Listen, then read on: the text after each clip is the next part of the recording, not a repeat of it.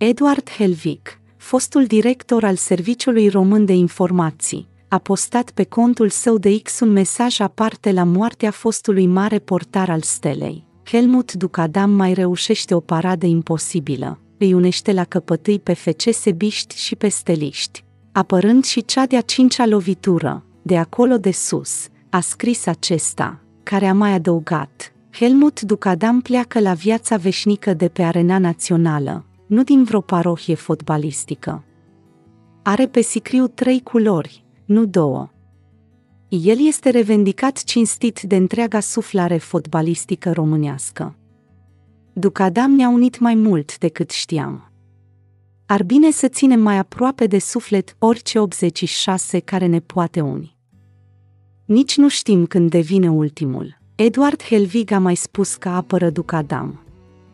A fost după 1986 scuza perfectă pentru toate juliturile în coate și genunchi ale copiilor care, contrar legilor străzii, alegeau să stea în poartă. Helvig îl compară pe Ducadam cu supereroul de Adipol, dar și cu trei legende ale muzicii, cum ar fi Jimi Hendrix, Jim Morrison sau Kurt Cobain, care au murit la 27 de ani, vârstă la care marele portar a devenit mit. Pentru cei foarte tineri, Ducadam e un fel de diadipol, supereroul cu latură pronunțat umană, cu boli, cu îndoieli, cu regrete.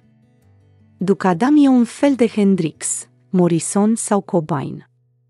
Pentru că el și-a trăit o viață și și-a murit o moarte la vârsta de 27 de ani. Atunci a devenit mit, iar prin tot ce a urmat s-a țesut povestea. Una care nu e fericită, că nu e Hollywood, și care nu e tristă, că nu e Cristi Puiu. E doar o poveste de viață, așa cum e viața de fapt pentru orice supererou nevoit să poarte costumul incomod de supererou. A mai scris acesta, de obicei. Știm despre mari fotbaliști că au avut tot felul de slujbe grele până să devină vedete. La Ducadam a fost invers. Din postura de vedetă a trebuit să accepte slujbe complicate pentru a se putea întreține.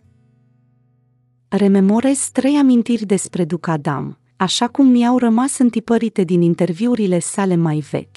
La nicio lună după Sevilla 1986 a fost dat afară de la echipă și a rămas șomer. A admis că la națională a pierdut pe mâna lui.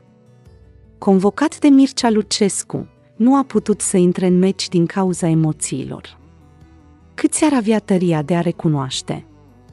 A primit ajutor nesperat de la echipa rivală când îi era cel mai greu. A și ieșit la pensie de acolo, la catafalchie liniște întreruptă de câteva sacadări de peluză. Coroane roș-albastre.